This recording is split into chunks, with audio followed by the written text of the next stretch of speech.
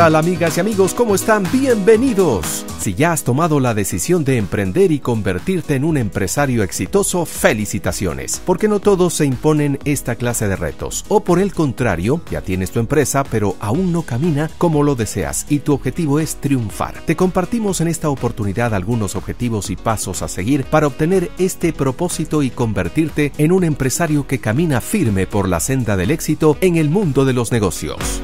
Número 1. Tu primer cliente. Conseguir tu primer cliente significa que por fin tienes una versión comercial de tu producto o servicio, por la cual hay personas dispuestas a pagar. Tu primer cliente significa que ya tienes un modelo de negocios con viabilidad comercial. Lograr este objetivo significa que finalmente tu idea está lista para convertirse en un negocio. Pero ten cuidado, evita caer en el error de creer que tu primer cliente es ese amigo o familiar que te compró por apoyarte. La idea es que ese primer cliente te compre porque realmente encuentra valor en el producto o servicio que ofreces. Número 2. Formalizar tu empresa. Un gran paso en la vida de todo empresario es la formalización empresarial. Dar este paso significa que estamos listos para asumir las responsabilidades comerciales, laborales, tributarias y penales que implican tener una empresa. Cada país cuenta con sus propias legislaciones y entidades encargadas de regular el comercio. Si quieres ser un empresario exitoso, jamás te puedes desatender de tus obligaciones legales. Recuerda que el desconocimiento de las leyes no nos exime de su cumplimiento. El incumplimiento de las leyes puede acarrear sanciones de diferente índole, incluyendo financieras y penales. Número 3. Tu marca es importante. Registrar una marca significa que quieres que tu producto, tu servicio y tu empresa sean únicos en el mercado y por lo tanto estar dispuesto a invertir para tener una marca exclusiva que te identifique y te distinga en el mercado. Este paso significa que has entendido que tu marca es un activo y que vas a trabajar para que ese activo aumente su valor cada día.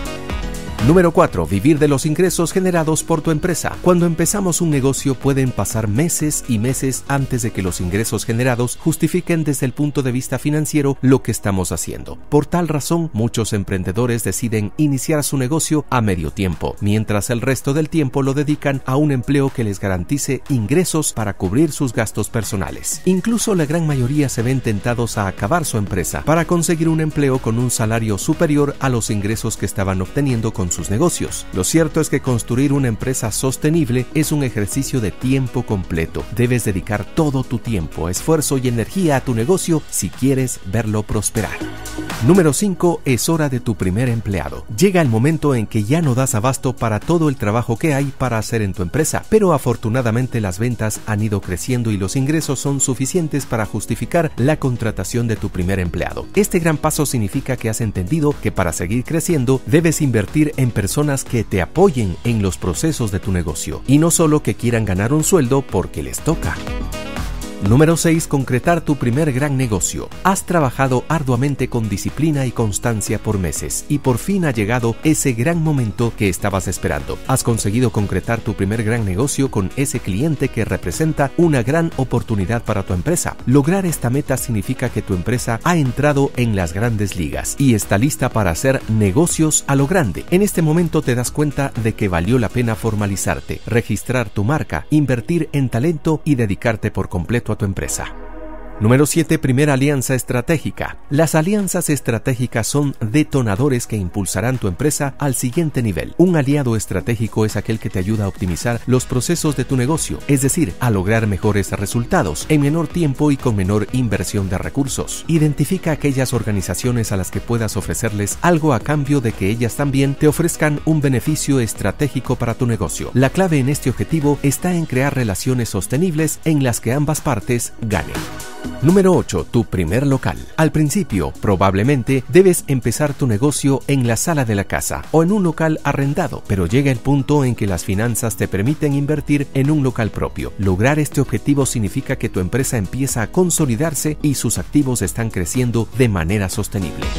Número 9. Lograr que tu empresa se convierta en un referente en la industria. Este objetivo consiste en lograr que tus clientes hablen de ti y te prefieran sin importar que existan muchas otras empresas ofreciendo productos y servicios similares. Ser un referente en la industria significa que has construido una empresa con una propuesta de valor única, que estás creando experiencias memorables para tus clientes y que has sabido comunicar de manera efectiva los beneficios que tu negocio ofrece. Recuerda que la esencia de tu negocio es servir cuantas más personas ayudes con tu negocio, más exitoso serás.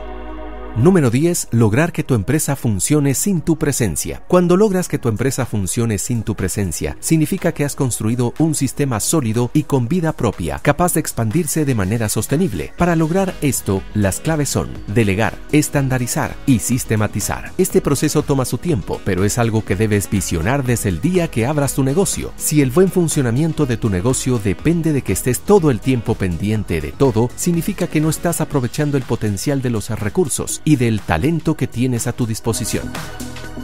Número 11. Pensar a nivel internacional. Cuando ya hayas dominado el mercado local, una estrategia de crecimiento empresarial interesante es la internacionalización, es decir, llevar tus productos y servicios a otros países. Este es un paso enorme y que supone grandes retos, pero si has logrado las 10 metas anteriores, seguramente para este momento ya estás dirigiendo una compañía sistematizada y sostenible con un gran potencial de crecimiento que necesita aventurarse en mercados más grandes.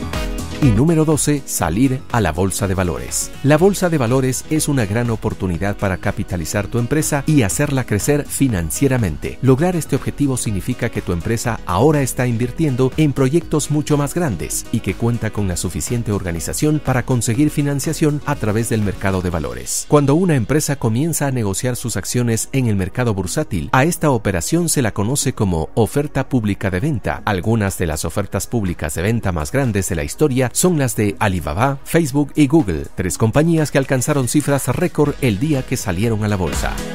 Otra de las metas que puedes cumplir, por supuesto con ganas, esfuerzo, dedicación, constancia y fe, es lograr que la historia de tu empresa se convierta en un libro que inspire a otros emprendedores, como lo hizo Melvin Escobar en el libro El Loco Emprendedor, que te lo compartimos en el video anterior.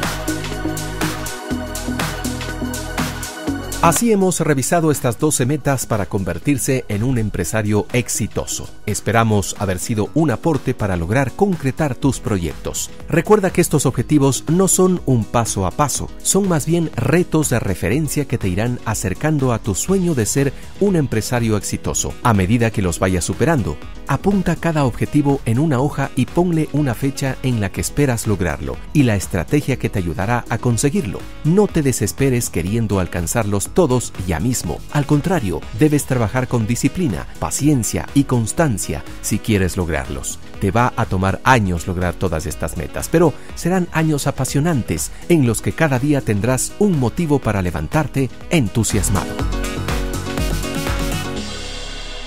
Gracias amigo, gracias amiga por tu atención, por tu tiempo. Nos encontramos en un nuevo video. Hasta la próxima, que la pases muy bien.